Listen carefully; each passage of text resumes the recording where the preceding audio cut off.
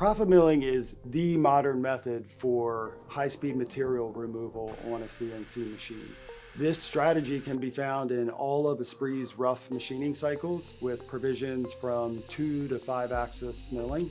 It yields tremendous tool life, so upwards of 50 times the tool life that you would see in a conventional cycle. And it also greatly reduces cycle time. In the testing we did, we saw an average of a 70% cycle time reduction. The way profit milling works is with a light radial engagement and a full depth of cut. Decreasing the radial engagement of a cutter allows us to increase the feed rate. The cycle then dynamically adjusts that feed rate throughout the cut in order to maintain a proper chip load on the tool. So this increased and optimized feed rate is really a big reason why we're able to achieve such dramatic cycle time reductions. More than a decade ago, high-speed machining was all about taking the largest cut possible with the biggest tool that you could find. What's funny is now we've done a complete 180 from that. So whereas before we were using large tools and taking big cuts, now profit milling can be used with smaller tools and we're taking light radial engagement. This type of cutting can actually be done on a light duty machine.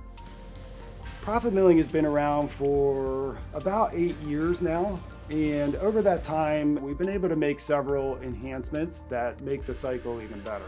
For example, we've added the profit milling strategy to our four axis rotary cycles. This is something that we didn't do early on, but found that it's, it's very productive and, and works really well. We've also added a maximum trochoidal radius field, which allows the user to adjust the width of the trochoidal motion within a particular cycle. We've also added bottom-up strategies for our pocketing and Z-level roughing cycles.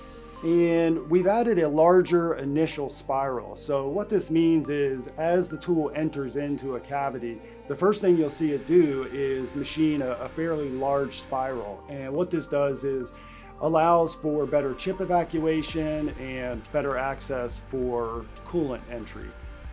Speaking of the entry, we've also optimized the initial channel width and what this does is it allows for faster attainment of the programmed feed rate and fewer machine decelerations. So after doing that type of aggressive cutting, you would expect the, the part and the tool to be very hot, but as you can see, I can, I can touch both the tool and the part, and they're, they're not hot at all to the touch.